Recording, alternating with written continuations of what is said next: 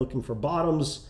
I don't care that much. I know we're gonna know. Trust me, we're gonna know uh, when there is a, a, really, you know, throw the baby out with the bathwater uh, type of scenario uh, because we'll see you know gap down six, seven, eight points.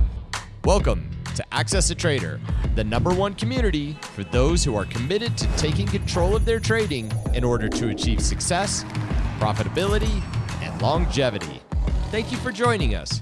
Here's Dan Shapiro to help you find your edge, master your process, and own your future.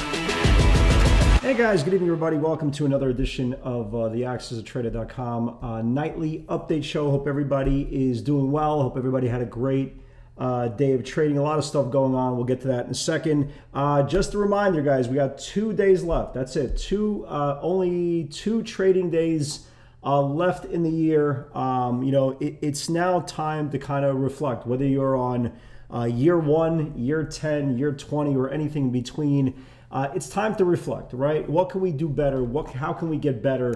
What can we do to omit some of the things that are still uh, putting us in a situation of weakness versus a situation of strength?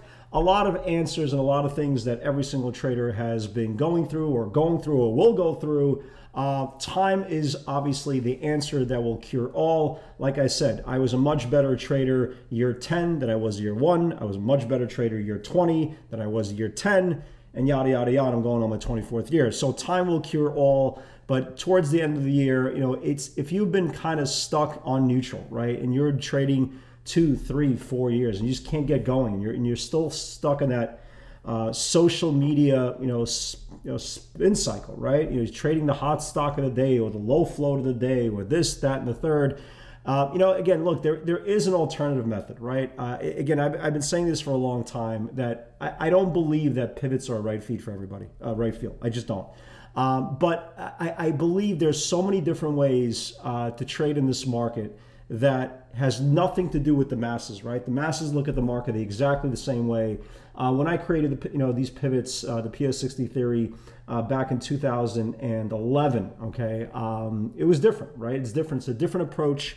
Uh, it's a different approach to kind of viewing the market, to kind of digesting information, and it's based purely on technical analysis. Uh, not on opinions. So if you are uh, interested, again, we have only you know a few days left uh, to take advantage of the current offering, and then that offering goes away, and then we won't have anything special till probably after the summer. So if you are uh, interested in starting off the new year, uh, diving into the world of pivots is a perfect opportunity to do so. So let's talk about the tape, right? Um, you know, pretty much, you know, business as usual, right? We lost the 50 day. Tell me where you heard this before.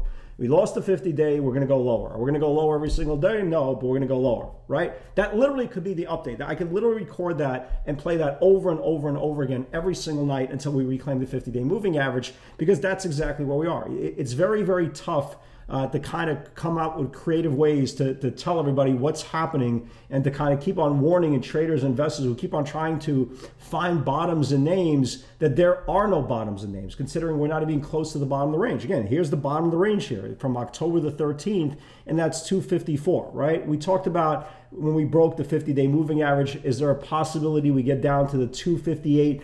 254 soft landing? Absolutely, because that's the bottom of the range here. Now we're only a couple of bucks away from that, and about uh, $2 away from the 58 level uh, and $6 away from the 54 level. But again, things will get incredibly aggressive if we do lose the 1013 candle. Uh, that is the CPI, the first original uh, CPI reversal uh, move that happened in the markets. And obviously, we know what happened next. But that's kind of where we are, guys. And, and the idea that we are oversold is absolutely ridiculous. I keep on hearing this every single day. Again, when you're not even close to the bottom of the range here, well, now we're actually we're getting closer, but we're not even close, guys. You're talking about 254, right? That's what we're talking about, that overall uh, soft landing. Then you could at least make an argument if they hold 254, especially on a gap down, and they start reversal, at least you could turn around, have a trading area, right? Have a trading point of interest that if that area holds, you can get long off that area and use that as, as that low as a hard stop. But the idea that every single day you're trying to pick bottoms is a very, very dangerous way of trading. First of all, that's not trading, that's buying and hoping. The same way uh, you know retail investors buy and hope in a bull market, they hope and pray to God, right? It's the only difference. They hope, pray to God.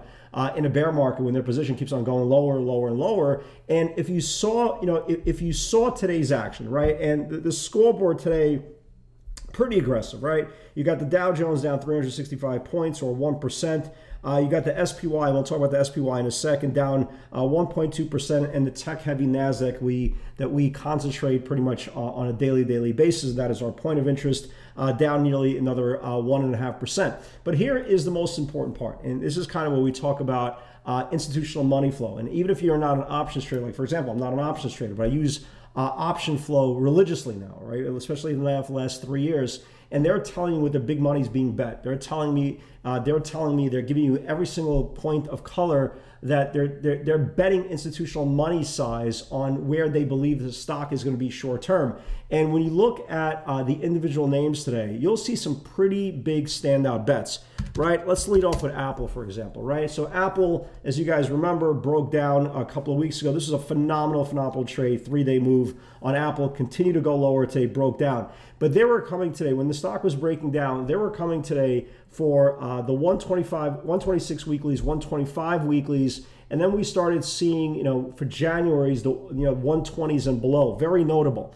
Amazon, for example, that broke down today. Well, I don't use the word broke down. Continuation of the breakdown, and we'll get and we'll get to individual pivots in a second. They were coming for January 74 and January 70 puts. That's that's a big deal, guys. They're not telling you uh, the institutional money flow is not telling you that a bottom is should be you know should be tested, right? It's it's basically they're telling you they're putting out very very aggressive bets and very very expe- uh, aggressive speculation that the correlation between the economy, right? You know the whole um, you know the, the whole um, you know the whole inflation, stagflation, you know transitory, right? All that stuff that they talk about they're, they're telling you things are not getting good, right? They're not going to get good at least anytime soon. Hopefully, we you know we will. Again, everybody wants a good economy. Everybody wants job creation. Everybody wants a happy life, and obviously, uh, most people are long bias versus short bias. But at least the big bets, the the big banks are telling you based on their uh, day-to-day activity which way uh, they are making bets. So that's very very important. Another name, for example, like Tesla, right? So we talked about last night on Tesla and I'm sure Kyler put in uh, the, the, introductory clip that we talked about yesterday, uh, what Tesla needed to do for a possible dead cat bounce reversal, right? We talked about it last night. A washout, right? We, you got a washout situation. The stock was down five, six points this morning, was all the way down to 104. It went, re- it went red to green on the day got stuffed pre-market, went red again, and when it went red, red to green in the regular session, Tesla had a phenomenal move, right? This is a really, really you know, really big move here. It, it, literally went from, you know, 105 all the way up to this 116, 117 level. But the notable part about what I saw as far as using option flow to kind of dictate what's going on here, we didn't see that massive, you know, they're coming for the 130, 150, 170 calls for next week, right? They were coming for the 115s. You know, they were coming for the 120s. And they weren't coming for two, three, four, 500,000, a million, $2 million bets they were coming for 30,000. They were coming for 40,000. So it's it, it really basically shows you that there is retail speculation money flow, but there's no massive institutional money flow making the same bets or thinking exactly the same way. Matter of fact, when the stock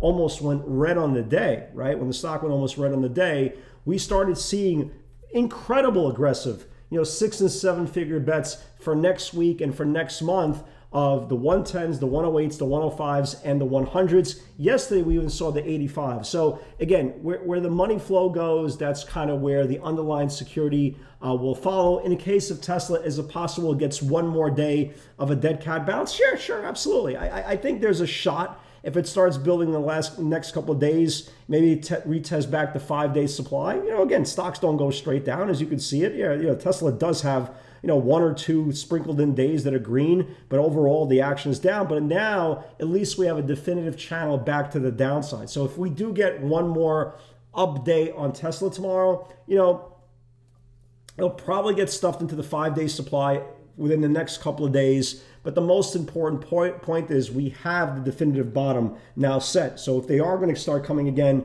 for the 105, 190s, right, into next month and into next year, we have a definitive line to trade back to the short side as well. So it's very, very uh, important to understand. So other than that, I mean, business kind of as usual. We have two days left in the market. We are getting some pretty good. Um, some really, really good setups for tomorrow in big mega cap names. And that's a very, very important point because, again, when you're looking, you know, turning around and, you, are doing your research and you say, ah, Crocs looks good, fantastic.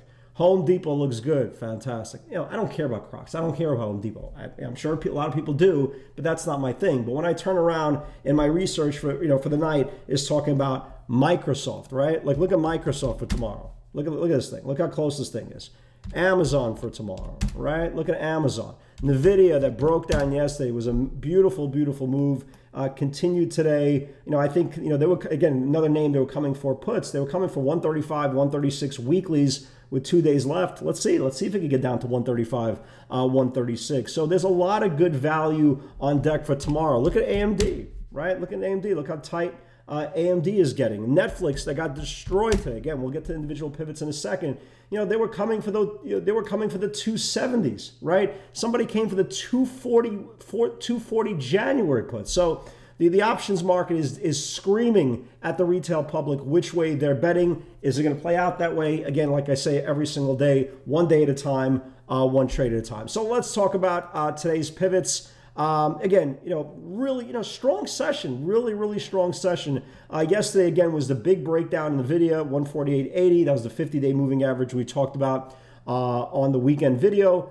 Uh, 148.80 if it builds below can flush. The stock went all the way down to that 140.40s level. That was yesterday's low. And again, this was the notes from this morning on the Twitter feed. Fantastic move yesterday. Uh, gapped all the way down to 138.47 this morning. Uh, came back into pre-market into the 140 40s. If it builds below, can flush, right? Continuation. It got right back down to the 138s and stuff. You know, held that pre-market low, but really nice move, uh, two-day move.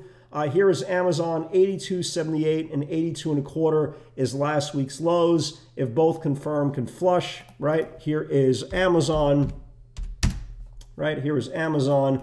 So it took out the 82.78, that was the low from these two candles, took out last week's low of 82 and a quarter. Closed right at the low of the day within 10 cents. Uh, I think it goes lower. Um, Meta, you know, Meta, you know, for some reason I was just watching Meta to the upside. It, you know, obviously never got close. Here is definitely what we discussed in last night's video, you know, for what it needs for Tesla to balance. So I said, look, for experienced traders only, it's currently trading green this morning after gapping down to 104, right? Gap down to 104 pre-market. And then what happened was Tesla went red to green.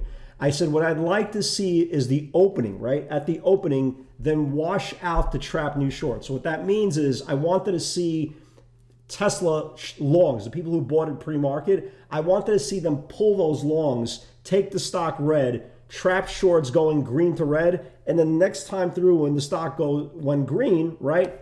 That's what we got long, and that's that was the whole point. What I'd like to see is an opening wash to trap new shorts. If it goes red to green the second time, right? It can run again. This note, this is not a pivot. This is an aggressive dead cat bounce. Phenomenal move on Tesla. For all you guys who caught it, congratulations. Great job. I thought there was a shot that this thing can go, and this is this is the opening range here. You can see it. You know, I, I thought there was a shot Tesla could get to 120 today. It got to like 16 and change, which was fine. Nobody's complaining. Went from you know 109 red to green to the 116s. Nobody's complaining, but it was very very odd that it couldn't you know get into the 120s. Again, is it possible we get a day two tomorrow? Let's keep an eye on it, right? I'll definitely definitely keep an eye on it uh, above today's ranges, but you know, again, pretty good move uh, there as well. Netflix got absolutely demolished this morning. Uh, 280.70 if it builds below can flush again. They were coming for the January.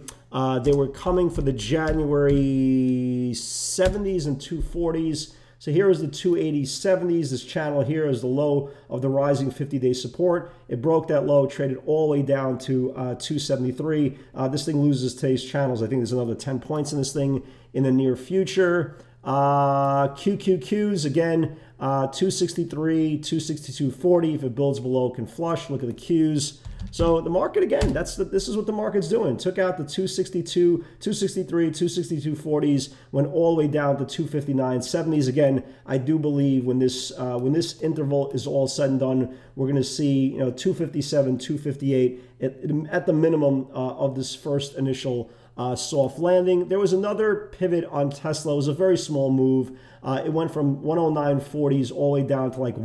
It, it, it held basically the pre-market lows of 108.40. So that's it, man. That's it. I, and I'd like to kind of, I, I, wish for all the traders, not investors. Again, if you're an investor, uh, again, what I'm saying has nothing to do with you. You know, your time horizon is months, years, whatever the case may be. We're, we're talking to active day traders, active traders who are aggressive in the markets to trade both sides. Uh, I, again, I, if you are only um, a, a, long bias trader, I, I, wish I could have some better news for you. I do. Are you going to have days that you're going to have some dead cat bounces? Of course, absolutely. Like I said in every single video, nothing goes straight down. But again, keep this in mind, guys. Again, we, and if you've been just watching this video just in the last you know week and a half, anything below the 50 day is generally bearish. Anything above the 50 day is generally bullish for all you guys who are finally coming aboard for this year, again, take advantage of the last couple of days uh, offer. I look forward to uh, look forward to working with you in the new year, and with God's help, we'll see each other all tomorrow. Take care, everybody.